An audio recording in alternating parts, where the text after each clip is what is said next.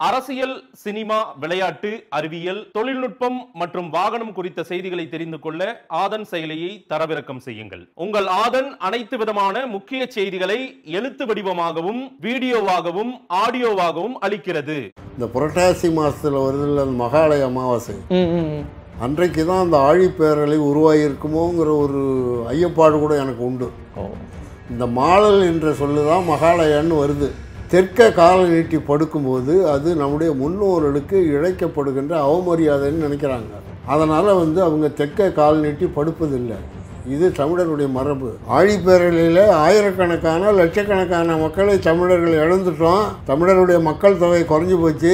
தமிழ் பெற்றோர்களே நிறைய பிள்ளைகளை பெற்றெடுங்கள்னு புறநான்னு ஒரு சொல்லுது. வீட்டுக்கு முன்னாடி கட்டி போட்டிருக்காங்க. அதை பார்க்குறப்பெல்லாம் ஆழிப்பேரலையில் நம்முடைய முன்னோர்கள் செத்து போனாங்க அழுகி போனாங்கன்னு அந்த வீட்டில் இருக்கவங்க நினைக்கிறான். என்னென்ன மாதிரியான குறியீடுகள் அதை அந்த நினைக்கிறீங்க? படிகாரம் என்பது உப்பு நீரை நன்னீராக மாற்றக்கூடிய ஒரு தன்மை உள்ளது. பாண்டவர் இங்கே தான் இருந்தாங்கன்னு அவர் சொல்லும்போது ஏன் பாரத போர் அங்கே நடந்திருக்காது.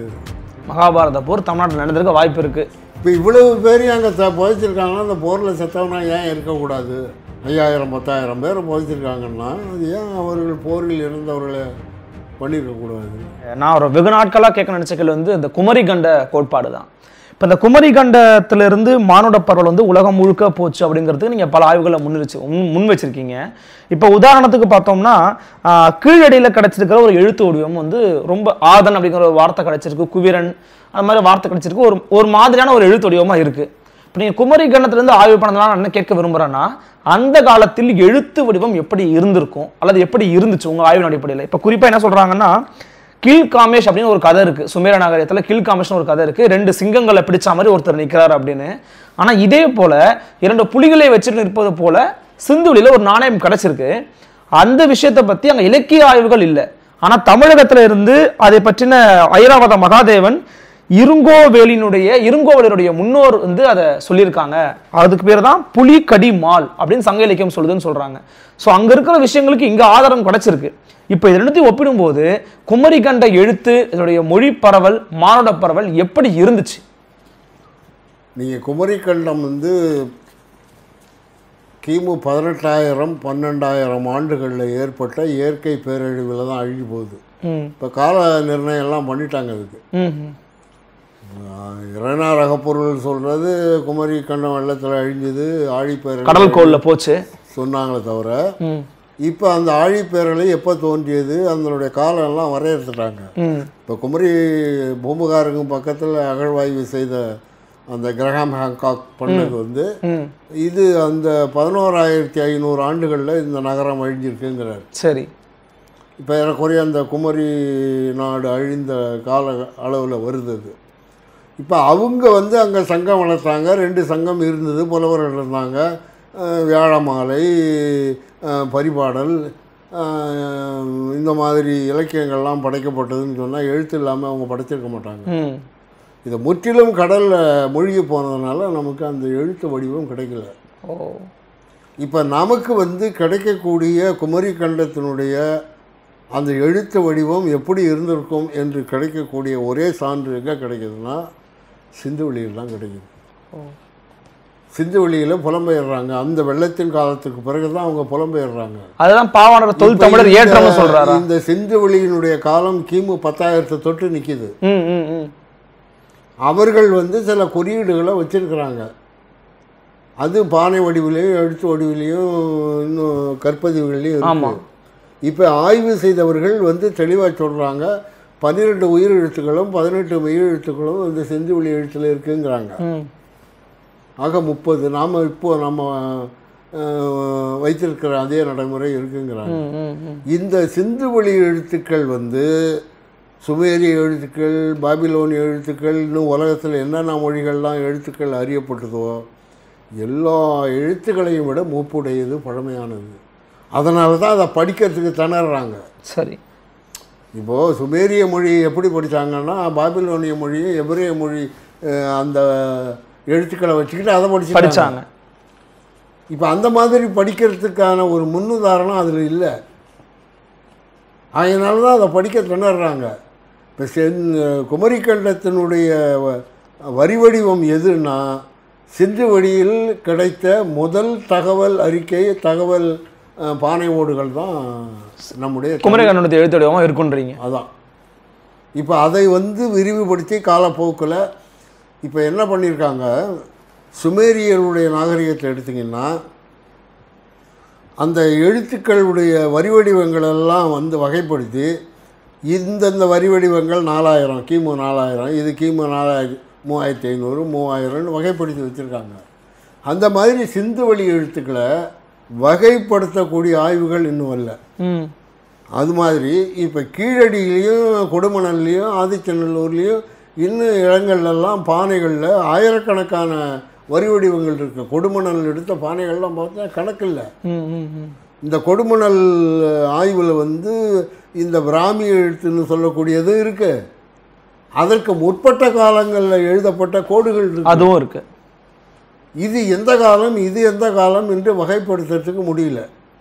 இந்த தமிழ்நாடு தொல்லியல் துறை இருக்க இது வந்து தமிழர்களுக்கு எதிர்ப்பான ஒரு துறை.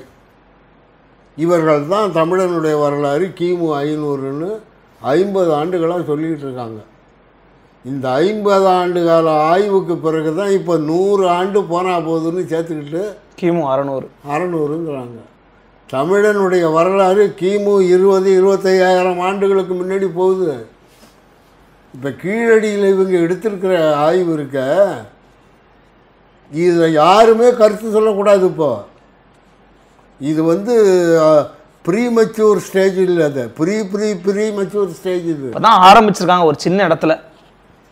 இப்போ உங்களுக்கு ஒரு எடுத்துக்காட்டு சொல்கிறேன் நிப்பூர்னு ஒரு இடம் இன்னைக்கு ஈராக்கில் இருக்குது அந்த அகழ்வாய்வை தோண்டும் போது ஒரு ஆசிரியரும் பள்ளி மாணவனும் பேசிக்கிட்ட மாதிரி ஒரு உரையாடல் அந்த களிமண் தட்டில் இருந்தது. இதுக்கு முன்னாடி என்ன இருந்தது பின்னாடி என்ன இருக்குன்னு தெரியல. இந்த களிமண் தட்டை வந்து ஆயிரத்தி எண்ணூற்றி எண்பதில் கண்டெடுத்தாங்க. இது ஒன்று மொட்டையாக நிற்குது இதுக்கு என்ன பொருள்னு கண்டுபிடிக்க முடியல கொண்டு போய் துருக்கி இஸ்தான்புல் மியூசியத்தில் வச்சுருந்தாங்க.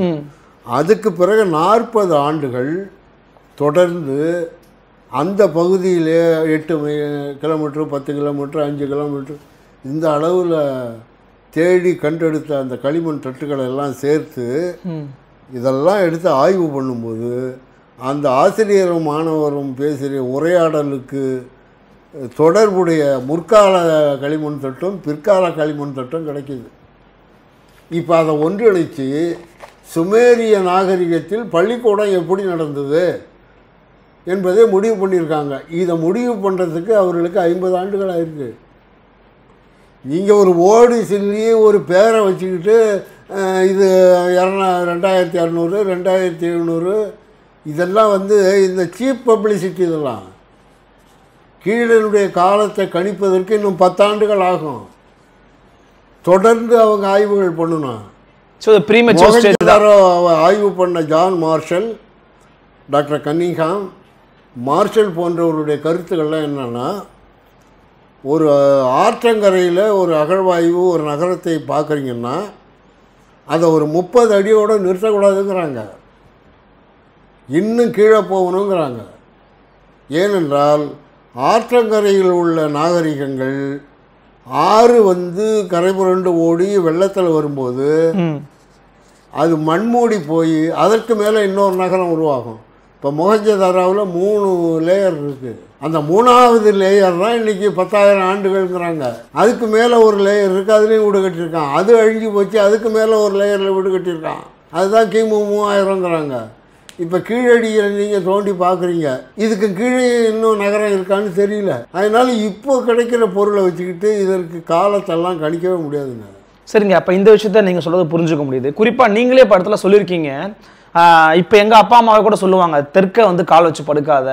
அதான் ஒரு தெற்கு சார்ந்த ஒரு விஷயம் எப்பவுமே இருந்துகிட்டே இருக்குது இப்போ நீங்கள் குமரிக்கண்ட கோட்பாடை பற்றி பல இடங்கள் உரையாற்றுகிறத நம்ம பார்க்கும்போது இந்த தெற்கிலிருந்து தான் தமிழர்கள் மேலே போனாங்க. பாவனை கூட சொல்கிறாரு தொல் தமிழர் ஏற்றம் நடந்தது அப்படின்னு சொல்கிறாரு அந்த பார்வை எப்படி பார்க்குறீங்க? அதாவதுங்க தமிழர்களுக்கு ஒரு அசைக்க முடியாத நம்பிக்கை நம்முடைய முன்னோர்கள் தென் திசையில் தான் வாழ்ந்து இறந்து போயிட்டாங்க. என்னுடைய ஒரு கருத்து கூட இந்த புரட்டாசி மாதத்தில் வருதில்ல அந்த மகாலய அமாவாசை. அன்றைக்கு தான் அந்த ஆழிப்பேரலை உருவாகியிருக்குமோங்கிற ஒரு ஐயப்பாடு கூட எனக்கு உண்டு.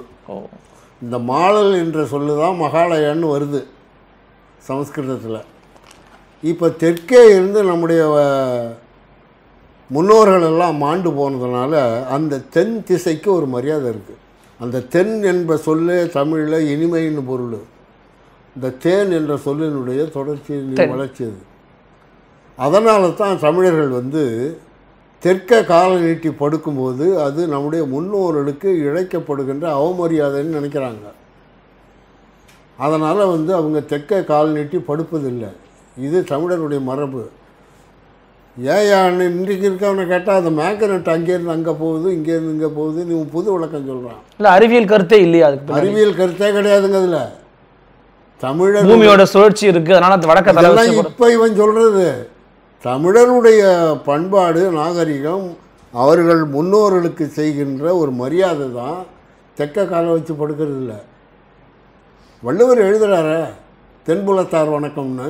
புறநானூறு சொல்லுத ஆழிப்பேரலையில் ஆயிரக்கணக்கான லட்சக்கணக்கான மக்களை தமிழர்கள் இழந்துட்டோம். தமிழருடைய மக்கள் தொகை குறைஞ்சி போச்சு. தமிழ் பெற்றோர்களே நிறைய பிள்ளைகளை பெற்றெடுங்கள்னு புறநானூறு சொல்லுது. அதனால் வந்து இந்த முன்னோர்கள் வந்து தெற்க இருந்தாங்கங்கிற கருத்து வட இந்திய தமிழர்கள்ட்டையும் இருந்தது. அவர்கள் ஆரியர்கள் அங்கே வரும்போது நம்முடைய வ- வ- முன்னோர்கள்லாம் அங்கே இறந்து போனாங்கன்னு சொன்னோன்னே அவனும் என்ன சொல்கிறான் எங்களுடைய முன்னோர்களும் தெற்க தான் இருந்தாங்க. இவனுக்கும் தெற்குக்கும் சம்மந்தமே இல்லை. இந்த பிதிர்கள் என்று சொல்லக்கூடியவர்கள் தெற்க இருந்தாங்க. அந்த பிதிர்கள் எல்லாம் எங்களுடைய முன்னோர்கள் அறிவாளிகள். அவர்கள் காக்கை உருவில் வருவாங்க. இவன் சிவப்பாக இருப்பான் வெள்ளையாக இருப்பான். அவன் முன்னோர் மட்டும் எப்படி கருப்பாக இருப்பான்? அந்த கருப்பாக இருக்கிறவன் தான் காக்கையாக இருக்கிறான்னு சொல்கிறான் அந்த காக்கை என்று சொல்வது தமிழர்களை குறித்த சொல்லு தான் உருவ ஒரு ம்.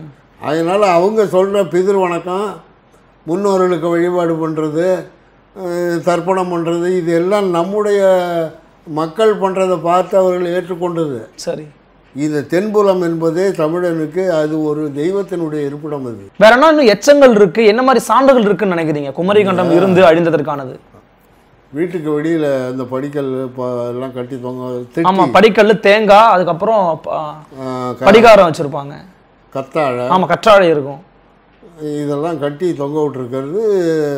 கண் திருஷ்டியை மறைக்கிறதுக்கு திருஷ்டி வரக்கூடாதுன்னு வச்சிருக்காங்கன்னு இதை சொல்றாங்க. இதை பார்த்தா கண் திருஷ்டி வராதா? அப்படின்னு ஒரு சில பேர் சொல்றாங்க கருத்துக்கள் இது சொல்றாங்க வந்து அடிப்படை என்னன்னு கேட்டிங்கன்னா ஆழி பேரலையை நினைவூட்டுகின்ற ஒரு அடையாளம் தான் அது. அதாவது குமரி கண்டத்தில் ஏற்பட்ட ஆழிப்பள்ளி ஆழி பேரலையை நினைவூட்டுகின்ற தமிழர்களுக்கு நினைவூட்டு வீட்டுக்கு முன்னாடி கட்டி போட்டிருக்காங்க அதை பார்க்குறப்பெல்லாம் ஆழி பேரலையில் நம்முடைய முன்னோர்கள் செத்து போனாங்க அழுகி போனாங்கன்னு அந்த வீட்டில் இருக்கவன் நினைக்கிறான். என்னென்ன மாதிரியான குறியீடுகள் அதை அந்த நினைக்கிறீங்க? படிகாரம் என்பது உப்பு நீரை நன்னீராக மாற்றக்கூடிய ஒரு தன்மை உள்ளது. சரி. அந்த தேங்காய் என்பது ஆ, இப்ப ஆழிப்பேரலையில் தாய்மார்கள் இந்த பால் குறைவு ஏற்படும் போது தாய்ப்பாலுக்கு நிகரான ஒரு மாற்றுப்பால் தேங்காய் பால் குழந்தைகளுக்கு. சாப்பிட்றதுக்கு உங்களுக்கு எதுவும் இல்லை அப்படின்னா கத்தாழையை சாப்பிட சொல்கிறான் கத்தாழை என்பதற்கு இன்னொரு பேர் சோத்து கத்தாழை என்ன பேர்? கற்றாழை சாப்பிடலாம். சாப்பிட்டுக்கிட்டு இருந்திருக்காங்க நம்ம தமிழர்கள். அதனால தான் அதுக்கு சோத்து கத்தாழைன்னு பேர். சோத்து கத்தாழை எல்லா இடத்துலையும் கிடைக்கும். ஆகையினால இதெல்லாம் வந்து தமிழர்கள் அந்த குமரிக்கண்டம் அழிந்து போனதனுடைய அடையாளத்தினுடைய எச்சங்கள் இதெல்லாம். இதை நம்ம ஆட்கள் வந்து அது திருஷ்டிக்கு கட்டியிருக்கு. அப்படின்னு நினச்சிக்கிட்டு இதை ஓடு கூட அது செஞ்சு அது பெரிய வணிகம் நடந்துக்கிட்டு இருக்கு. ஆனால் உண்மையிலேயே குமரிக்கண்டம் அழிந்து போவதற்கான எச்சங்கள் உலகம் பூரா இருக்குது இதெல்லாம் வந்து வெளிப்படையாக விரிவாக பேசணும்னா பல மணி நேரம் நம்ம பேசலாம். நிச்சயமாக ஐயா இறுதியாக ஒரு விஷயம். இப்போ நீங்கள் சொல்லும்போது கூட சொல்லியிருந்தீங்க நம்மள்ட்ட இருந்து பல பேர் அதை பிரித்து எடுத்துக்கிட்டாங்க அப்படின்னு சொல்லியிருந்தீங்க. அதை வந்து பாவனர் இடத்துல குறிப்பிடுறாரு. மூவேந்தர்கள்னு சொன்னோம் நம்ம அவங்க மூன்று உலகமாக மாற்றிட்டாங்க நம்மள்கிட்ட எல்லா இடத்துலையும் பறவை வாழ்ந்த பாணர்கள் இருந்தாங்க. இப்போ அவங்க அதை நாரதராக மாற்றிட்டாங்க இது மாதிரி பல விஷயங்கள் இங்கிருந்து அவங்க பிரித்து தனியாக எடுத்துக்கிட்டாங்க. அவங்களுக்கானதுன்னு சொல்கிறத உண்மையாக உண்மையாக இருக்கிறீங்களா? நீங்கள் பல விஷயம்னு இல்லைங்க. அங்கே இருக்கிற எல்லா விஷயமுமே நம்மளது தான் பாவாணர் பல விஷயங்கள் எடுத்துக்கிட்டாருன்னு சொல்கிறார்ல பல விஷயங்கள்ல எல்லாமே நம்மளுக்கு இப்ப மகாபாரதத்தை ஒரு சில பேர் இப்போ தற்கால ஆய்வாளர்கள் சொல்றாங்க குறிஞ்சிக்கும் மருதத்துக்கும் நடைபெற்ற போர் தாங்க மகாபாரதம் அப்ப அதெல்லாம் கூட உண்மை நினைக்கிறீங்களா? அதாவதுங்க மகாபாரதம் வட இந்தியாவில் நடந்ததற்கான சான்றுகள் எதுவும் கிடைக்கலங்க. இப்போ வரைக்கும் இல்ல. ஒன்றும் இல்லை. இந்த திரௌபதி அம்மன் வணக்கம் என்பது தமிழ்நாட்டில் மட்டும்தான் இருக்குது இந்த மகாபாரத கதை இருக்கு பாருங்க. அது ஒரு சிறுகதை மாதிரி தொடங்கி உலகத்திலேயே பெரிய நாவலாக வந்துட்டுது அது. ஆமா. கிபி ஆயிரத்தி எழுநூற்றி ஐம்பது ஆண்டுகள் வரையில் கூட அந்த மகாபாரத கதைகளை வந்து கிளைக்கதைகளாக இணைக்கிறாங்க. அப்படின்னு ஆய்வாளர்கள் சொல்கிறாங்க ஏறக்குறைய ஆயிரத்தி ஐநூறு ஆண்டுகள் ரெண்டாயிரம் ஆண்டுகளாக அந்த கதையை இணைச்சிக்கிட்டே வரான் ஒரு ஒரு நூற்றாண்டும். இப்படி இந்த கிளைக்கதைகள்லாம் இணையும் போது அந்தந்த நூற்றாண்டில் என்னென்ன நிகழ்ச்சிகள் நடக்குதோ அது எல்லாத்தையும் மகாபாரதத்தில் கொண்டு வந்து இணைச்சிருக்காங்க. இப்போ ஆதிச்சநல்லூரில் நான் போய் பார்த்தப்போ அங்கே பாண்டவர் கோயில்னு ஒன்று இருக்குது இல்ல. அதில் வந்து வலது பக்கம் பார்த்தீங்கன்னா ஐந்து பாண்டவர்களுடைய கல்லறை இருக்குது இடது பக்கம் துரியோதனாதிகள் கல்லறை இருக்குது அங்கே அந்த குரு பூசாரி ஒருத்தரை சந்தித்து பேசினேன். அவர் அவங்களுக்கெல்லாம் வேறு வேறு பேர் சொல்கிறாரு அந்த துரியோதனன் கர்ணன் தர்மர் பீமன் இதுக்கெல்லாம் வேறு வேறு பேர் சொல்லி அந்த பாண்டியருங்கிற பேரை இணைச்சி சொல்கிறார். இவங்களுடைய கல்லறைங்க இது. நாங்கள் பல ஆயிரம் ஆண்டுகளாக இதை இருக்கிறோம் பார்த்துக்கிட்டு வரோம். நாங்கள் தான் அதை வழிபாடு பண்ணிட்டு வரோம் அப்படின்னு சொல்கிறாரு அங்கே வந்து பார்த்திங்கன்னா ஒரு இருபது கிலோமீட்டர் சுற்றளவுக்கு குறைஞ்சது ஒரு ஐயாயிரம் ஆறாயிரம் பேருடைய முதுமக்கள் தாழி இருக்குது. இன்னைக்கும் இருக்கு. இன்றைக்கும் இருக்குது அது இன்னும் ஆய்வுக்கு யாரும் உட்படுத்தல? தமிழக அரசோ? ஆய்வுக்கு இது இந்த கீழடியே ஒன்னபடி என்னபடின்னு வந்துக்கிட்டு இருக்கு. முதன் முதல் ஆய்வு செய்யப்பட வேண்டிய இடம் ஆதிச்சநல்லூர் தான். ஆதிச்சநல்லூரும் மதுரைக்கும் பக்கத்தில் உள்ள இடங்கள் தான் ஆய்வு பண்ணோம். அவர் என்ன சொல்கிறாரு இவ்வளவு தாழிகள் இங்கே செத்து போனவங்கள பார்த்திருக்க இதை பற்றி என்ன உங்களுக்கு கருத்துன்னு நான் அவர்கிட்ட கேட்டேன். எனக்கு தெரியலைங்கன்னார் ம். நான் என்ன நினைக்கிறேன்னா ஒரு இடத்துல போய் நம்ம கல்லறையோ இல்லை சுடுகாடோ பார்க்கும்போது அந்த சுடுகாடு கல்லறை எந்த அளவுக்கு விரிவாக இருக்கோ அதுக்கு பக்கத்தில் இருக்க நகரம் அந்த அளவுக்கு பெரிய நகரம்னு நம்ம ஒரு என்ன பாடுக்கு வரலாம்? வரலாம். இருபது கிலோமீட்டருக்கு ஒரு ஐயாயிரம் பத்தாயிரம் பேர் தாழி அங்கே புதைச்சிருக்காங்கன்னா அவ்வளோ பெரிய நகரம் அங்கே இருந்ததா? அப்படி இருந்ததுன்னா அந்த நகரம் எங்கே போச்சு? இந்த கேள்விகள்லாம் எழுது. இப்போ நான் என்ன இவர் பாண்டவர் இங்கே தான் இருந்தாங்கன்னு அவர் சொல்லும்போது ஏன் பாரத போர் அங்கே நடந்திருக்காது? மகாபாரத போர் தமிழ்நாட்டில் நடந்திருக்க வாய்ப்பு இருக்கு.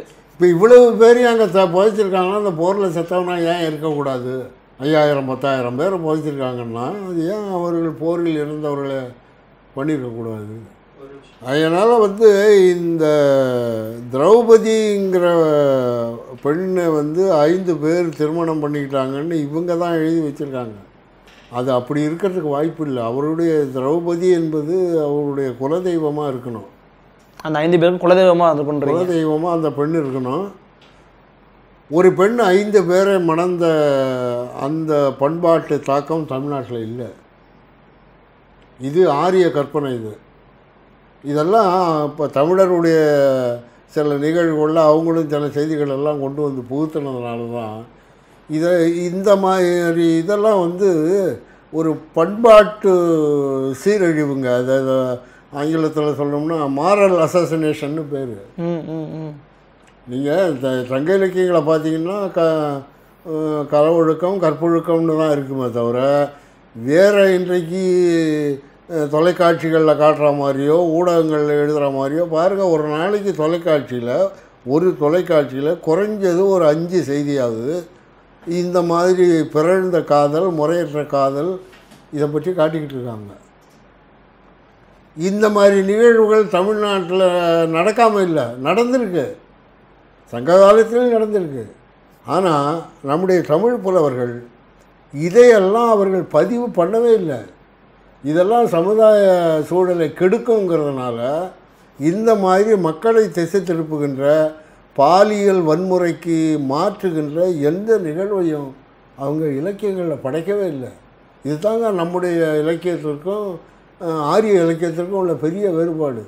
நீங்கள் ஆரிய இலக்கியங்கள்லாம் பாருங்கள் முறைகேடான பாலியல் தொடர்பு உறவு மிருக புணர்ச்சி இப்படி நிறைய செய்திகள் அவங்க கொடுத்துருக்காங்க நம்ம இதில் அந்த மாதிரிலாம் எதுவும் இருக்காங்க அதனால்தான் இதை நாம் என்ன சொல்கிறோம் தமிழருடைய பண்பாட்டு சீரழிவுக்கு காரணமாக இருந்தவர்கள் இந்த மாதிரி கதைகளை எழுதி கொண்டுகிட்டு வந்து நம்ம மாரல் அசாசினேஷன் நடந்திருக்கு அப்படின்னு நடந்திருக்கு. இன்னும் நடந்துக்கிட்டு இருக்கு. அதனால இதை எதிர்த்து தான் நாம் பேசணும். நிச்சயமா.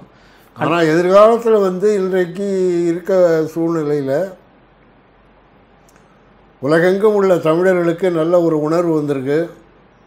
படித்தவர்கள் இந்த தமிழ்நாட்டில் ஒரு மறுமலர்ச்சி உருவாகணும்னு விரும்புகிறாங்க இங்கே உள்ள இளைஞர்களுடைய எண்ணமும் அதுவாகத்தான் இருக்குது நிச்சயமா. நான் உலகத்தில் பல நாடுகளுக்கு சுற்றி வந்த போது கூட இந்த மாதிரி உணர்வுகளை நான் கேட்டு அதை நான் நேரில் அறிஞ்சிருக்கேன். அதனால் தமிழருக்கான தமிழ் மக்களுடைய உணர்வுகளை ஈடு செய்கின்ற வகையில் தமிழனுடைய ஒரு ஆட்சி தமிழ்நாட்டில் மிக விரைவில் மலரும் என்பது என்னுடைய அசைக்க முடியாத நம்பிக்கை. கொஞ்சம் காலதாகமும் முன்னாடி பின்னாடி ஆகலாம். இன்னுமே தமிழனுக்கு தலைமை தாங்கக்கூடிய ஒரு தலைவன் பிறக்க போகிறதில்ல எங்கேயோ பிறந்திருக்கான்? தமிழ்நாட்டில் இருக்கான். நம்ம இன்னும் அவனை அடையாளப்படுத்தலை அவனை அடையாளம் காணல. ஆகவே இன்னும் ஒரு ஐந்து ஆண்டுகளுக்குள்ளே பத்து ஆண்டுகளுக்குள்ளே அந்த தலைவன் வந்து வெளியில் வருவான். அதனால் எதிர்காலத்தில் இந்த இனம் பழைய மரபுகளையும் பழைய பெருமைகளையும் பெருமைகளையும் நிச்சயமாக உறுதியாக பெறும் என்ற நம்பிக்கையோடு இந்த நிகழ்ச்சியில் பங்கு பெற்றது கூறி விடைபெறுகிறேன். வணக்கம்.